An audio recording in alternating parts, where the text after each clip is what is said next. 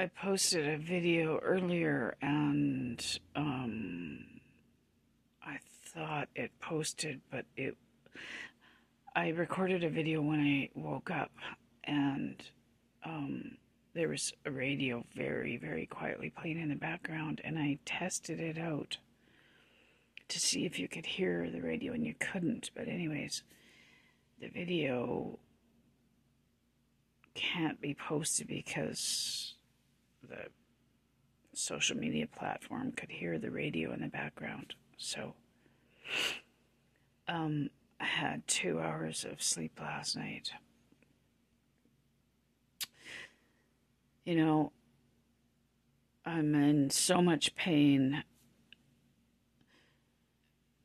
I often wonder what what is gonna, you know, what what's gonna push this over the edge because it's a precarious situation, right? I'm in I'm in distress. I'm in medical crisis. I need medical care and all it's going to take is is you know too much of one thing or another crisis rolling along or you know a crisis in the house or pain re- reaching a threshold I can't handle, or just one more, you know, another infection and I can't get to the doctor, or, you know, another broken bone, or just, you know, it doesn't even matter what at this point. It's just, it's too much, right? It's just, the situation is already tipping over the edge, right? Um, like you know, maybe this, the, I'm in a lot of pain. Maybe the pain will just tip the scales for me. And it's a precarious situation, you know. Um, I'm sleeping upright. I'm in so much pain. My skull, my jaw, my teeth, my sinuses. My it feels like all my teeth are rotting out. It feels like I'm lose. I am losing teeth. I I'm losing teeth. You know, I'm losing my permanent teeth. It's it's insane. My teeth are killing me. My jaw's killing me. My sinuses are killing me. I'm sleeping upright in a chair and just to put my head down hurts so bad. I feel like I, I my sinuses are infected again. Uh, I just finished a couple rounds of antibiotics um, a couple two weeks ago or something. Um, I can't fight off infection, right? I'm sleeping two hours a night. Um, I need medical treatment. I stopped CPAP. I couldn't handle the pain anymore. My sinuses just excruciating pain, jaw pain, skull pains. I, I have severe apnea.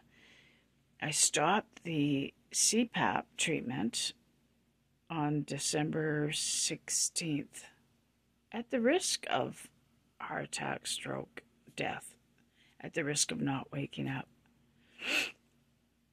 And um, I, I thought a lot of the pain would go away. I thought a lot of the pain was coming from the CPAP. Putting the CPAP on top of this is just, just beyond what I can handle. I can't I can't handle the pain anymore. I don't understand where the pain is coming from. I mean, I have Chiari malformation. My skull is rammed in there, right? So all sorts of things c- could be going wrong. My dentist couldn't find anything. They they I don't know. The dental pain continues. Uh, teeth loss continues. Now it's excruciating jaw pain. I don't understand. It could be the Chiari, Chiari malformation is doing all of this.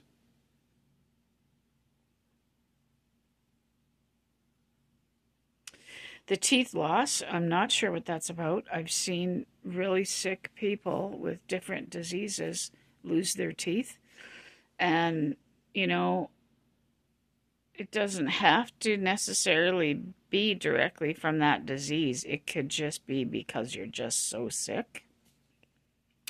It uh, teeth loss can be maybe from inflammation. It could be, you know, I have significant nerve damage. It could be, you know, from that. I'm having muscle loss, muscle wasting, and muscle loss. My teeth also could be uh, being attacked from, you know, complex nerve damage. I don't. I think it's just from being just so sick. I I thought it was from CPAP. I don't know.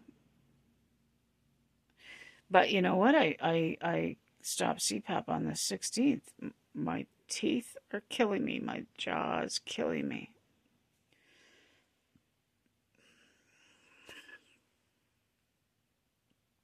My just my sinuses are killing me. I, I would swear my sinuses are infected again, and I don't really know.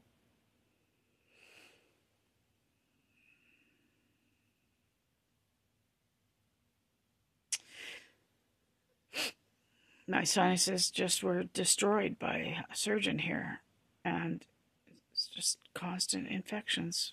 I don't know. Don't understand.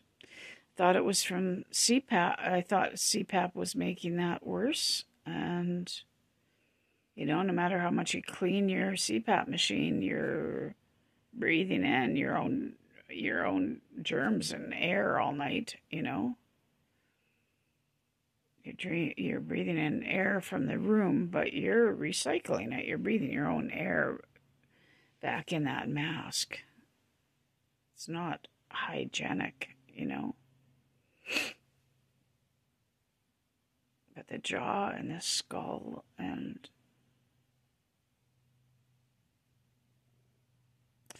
the pain all night is like like almost on the verge where I'm I'm about to lose my mind or like lose touch with reality. Like can pain get that bad?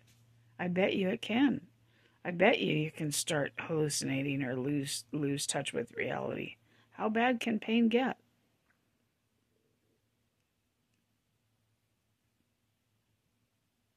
I have no family doctor. I have no vehicle. Really, I'm I'm too sick to go around and and try to convince doctors to help me when I'm sleeping two hours a night.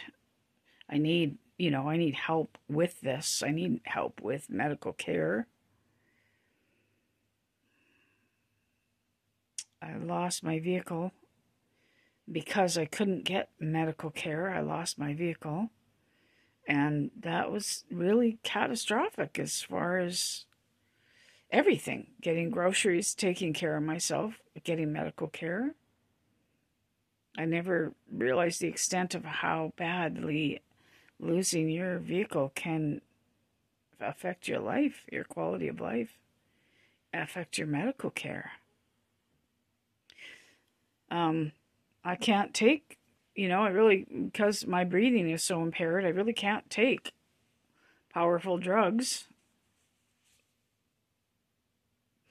I need my, I need like, I, the longer this is unaddressed, the more and more medical issues are gonna keep happening. I'm gonna have a stroke. I'm gonna have a, a heart attack. I'm, you know, I mean, I'm gonna continue to lose all my teeth um, I'm I'm I'm a human being, not sleeping. Right? I, I'm in medical crisis, and the longer this sleep issue, the Chiari malformation is not receiving treatment, I'm gonna continue to decline or just completely go over the edge. You know, like I'm literally being tortured.